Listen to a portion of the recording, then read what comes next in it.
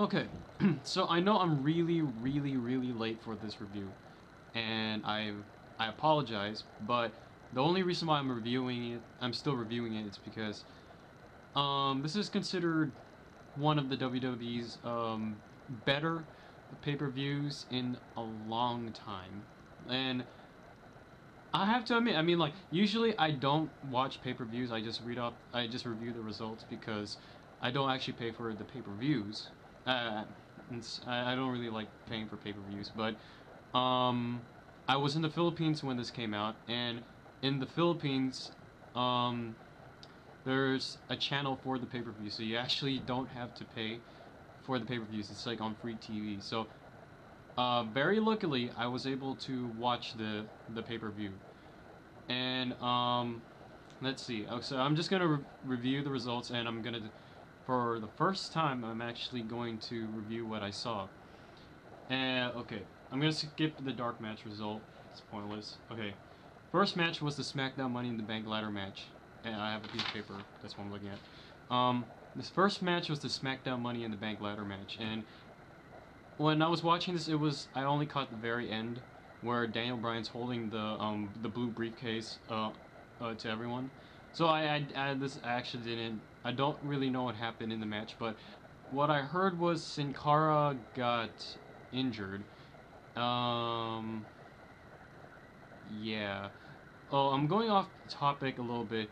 Um, Sin Cara, um, what do I think of this man? Like, I, I, I should have posted a review of the of him because he's like he's the newest addition to WWE. But Sin Cara, I mean, like a lot of people have been on him because he botches and um, there was that infamous clip of him and Chavo. It was like that was really bad, but um, for me, I'm not I'm not totally.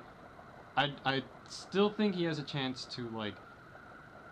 Um, I still think he has a chance to establish his, himself. I mean, like, yeah, he had a rocky start, but and he had that that the the well that I don't remember what it's called, but he had like he had a um, a fault with the wellness something. I forgot the name of the plan, but um, I think he he can still he, he can still try to he, he can still be accepted by the crowd. I mean, like he, I mean he's if you see his match his match with Evan Bourne, I mean like it was, it was very entertaining. So I mean this guy is not like I can't really come up with words. It's like I'm just gonna continue. I'm just um, bottom line is I I don't think Sin Cara is totally out of the game yet.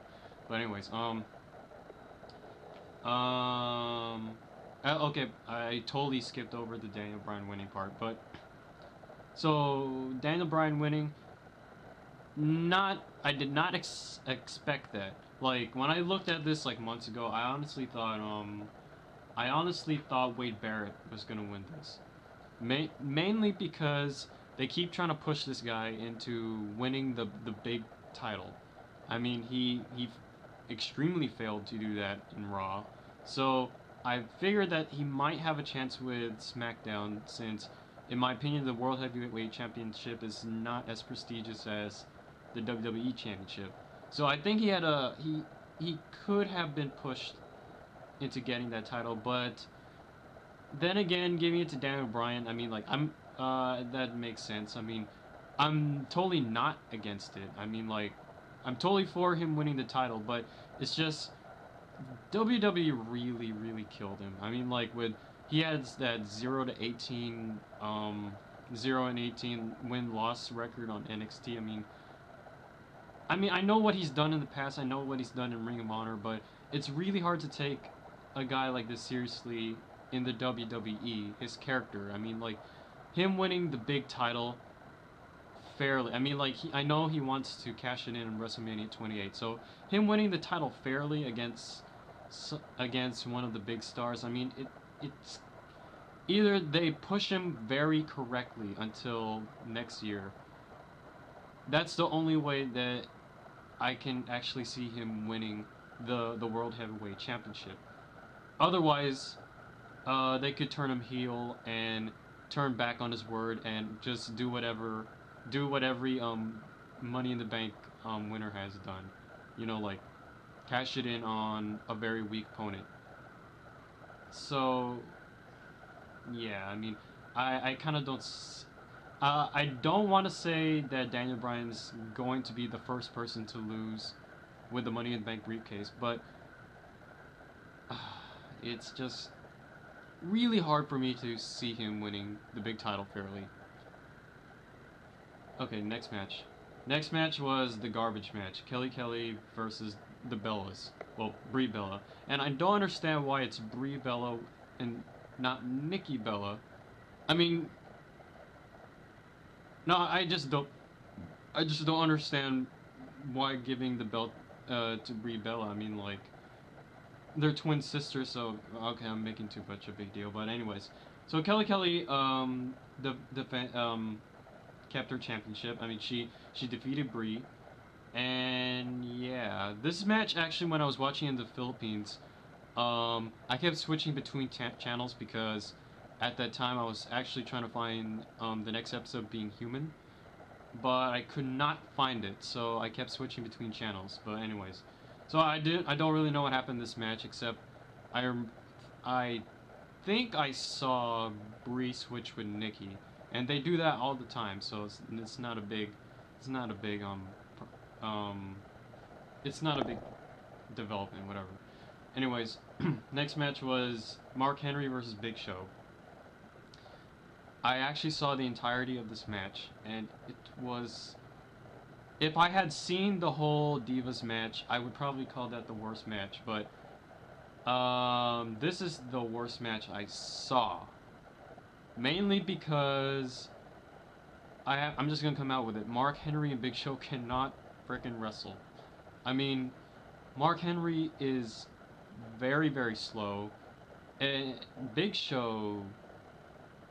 Well, he's they're both very slow in general. I mean, like there nothing really happened happened in Smash. I mean, like there were a few clotheslines, and I I, I know like Mark Henry got shoved into like the steel steps and by the way, if you look carefully, it, it doesn't look like he got tossed into the steps. He sort of ran into it and tripped over it, which looks to me it looked very obvious he tripped over it. But anyways, um, um, this was not a good match. I mean, like, it was boring, it was slow, and like, okay, I was I was surprised at the at the result. I thought Big Show was gonna win, but overall, it was not a very good match, and but the ending where like Mark Henry like crushes Big Show's foot by jump by jumping off the turnbuckle into the chair.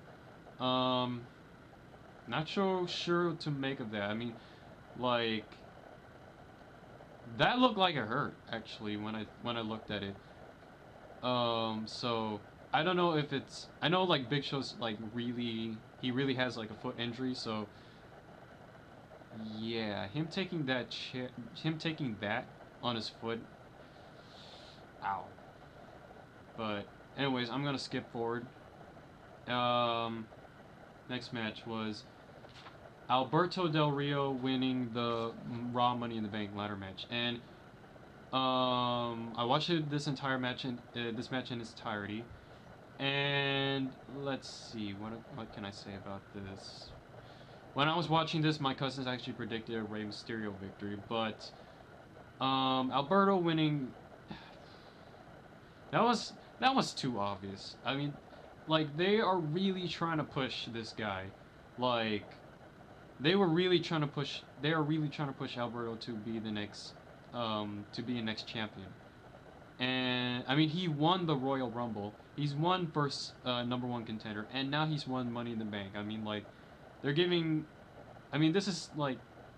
I'd say this is like his final chance to get the championship. I mean, like, if. If he doesn't win the championship with with the Money in the Bank briefcase, that's embarrassing. Like, no one has lost until this. And since he's a heel, he's probably just going to cash it in on a weak opponent. So, if he doesn't win the, the title now, with the briefcase, it, this is going to be really bad for him he's gonna look very weak. But anyways, um, getting off of uh, Del Rio, the match was pretty good actually. Um, with these many guys, it's very easy to get scattered. I'm sorry.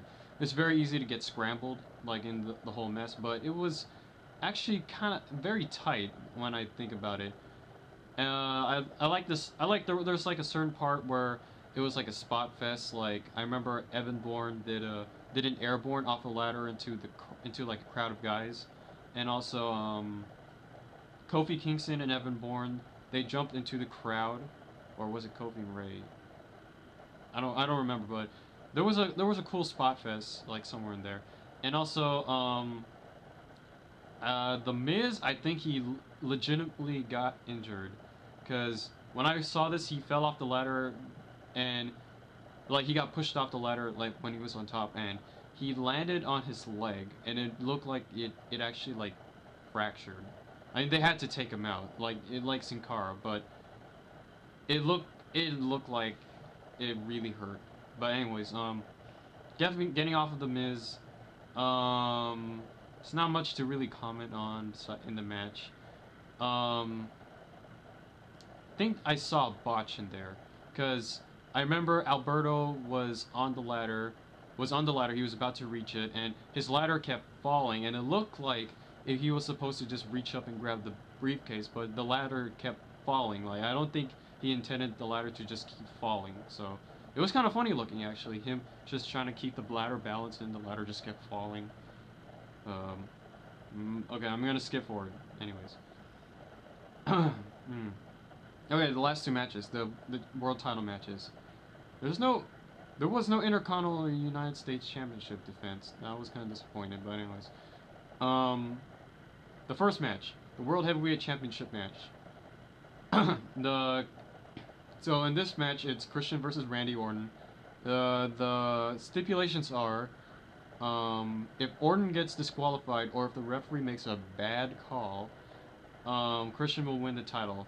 And I'm not gonna I'm not gonna make uh, talk about the bad call part because I could go on forever with that one. But anyways, Christian defeated Randy Orton by disqualification because in the match, it, it was actually very even in the beginning. Like, they kept... It, it, it, it was very seesaw in the beginning, but then near the end, it, it really looked like Randy Orton was about to... Um, was about... was He was just, like, dominating him near the end. And near the end, so, like, Christian is backed up into the turnbuckle, buckle, and Randy Orton, he's all up in his face, like, Christian, what are you gonna do? And Christian just spits in his face, and Randy he just flips out and he hits him with a low blow. Christian, I mean, Randy Orton is disqualified and Christian wins the title. And then at that point, Randy Orton just goes nuts. But it doesn't matter. I mean, Christian's still the champion. In this match, it was okay. I mean, it, it wasn't a really pay-per-view pay-per-view match, but um, at least they finally got the belt off of Randy and they gave it back to Christian because um, this really was his last like like how many times he's tried. Um, he had the rematch at um, what was it? He had the rematch. What was it called? I forgot the name of the, the pay per view. I think it was Over Limit. But anyways, he had the rematch when he was uh, face. He had another match at Capital Punishment. So this was his third time trying to get the title.